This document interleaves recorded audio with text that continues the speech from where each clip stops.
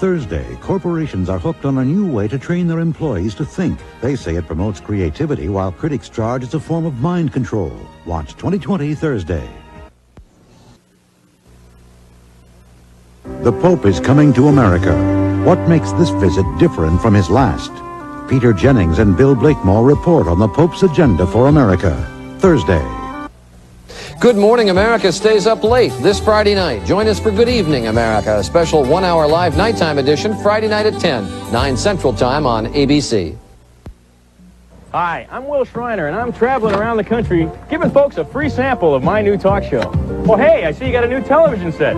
Try this one. It's got the Will Shriner Show already on it. Can I show you some of the new Will Shriner Show? Hi, is this bus stop at the Will Shriner Show? Hi, I'm Will Shriner. I'd like to show you my new talk show. Oh, sure. Thanks a lot. It's an exciting new show that's...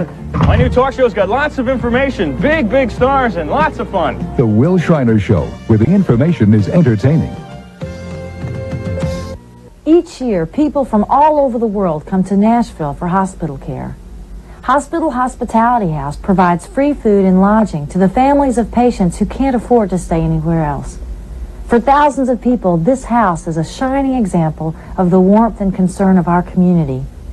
Because this organization isn't supported by large funding agencies, your help is especially important and greatly appreciated. So please support Hospital Hospitality House. Thank you.